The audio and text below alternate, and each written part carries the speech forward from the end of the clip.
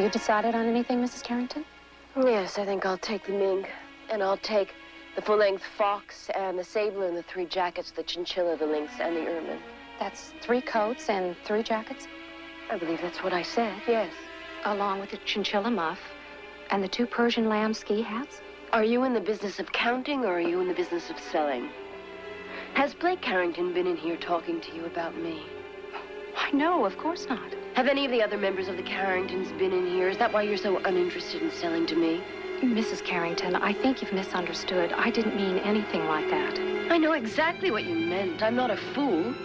And I'm very good at sensing hostility where I find it. I'm sorry.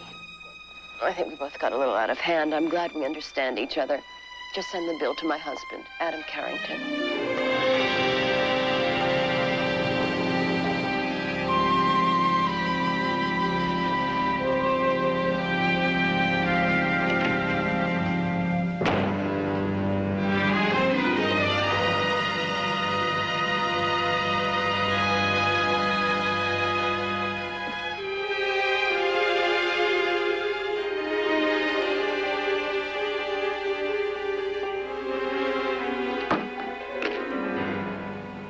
Heard about your little shopping spree today.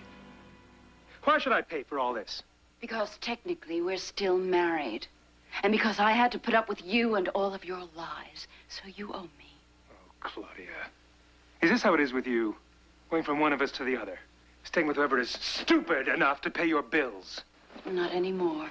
I'm finished with all of the Carringtons now that I have my will. I wouldn't count on living off my profits if I were you. Don't you threaten me, Adam. You can't take it back. I still have a weapon over you.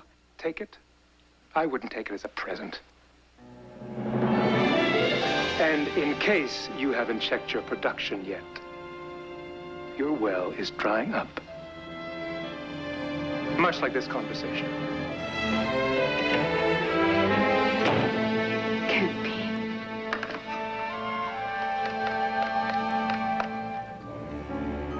Yes, let me speak to Blake Carrington. No. When he gets back to town, it'll be soon enough.